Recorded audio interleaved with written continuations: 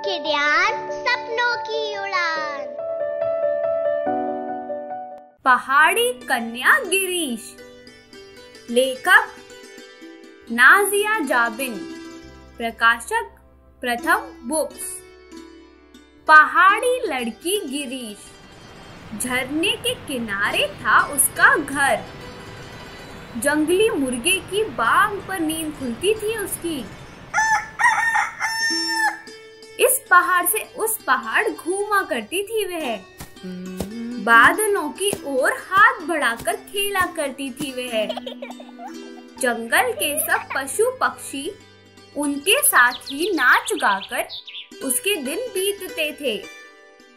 जंगली फूलों की माला उसे बहुत पसंद थी।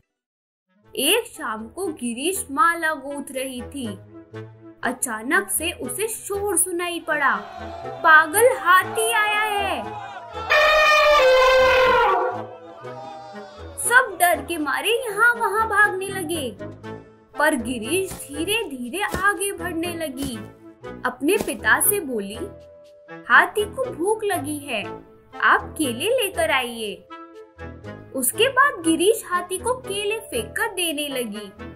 और हाथी से लौट जाने के लिए बोली। गिरीश का साहस देखकर सब हैरान हो गए। हाथी अपनी सूंड से पानी डालने लगा। गिरीश अपनी बनाई हुई माला हाथी को दे देती है। हाथी घने जंगल की तरफ़ लौट जाता है। झरने के किनारे पर ढोल बजने लगते हैं। सब खुशी से नाच उठते हैं। तो प्यारे बच्चों कैसी लगी आपको पहाड़ी कन्या गिरीश की कहानी? आशा करती हूँ आपको यह कहानी पसंद आई होगी। मैं आप सबसे जल्द मिलूँगी एक और मज़ेदार कहानी के साथ। लेकिन तब तक आप सुनते रहिए किडियान सपनों की उड़ान।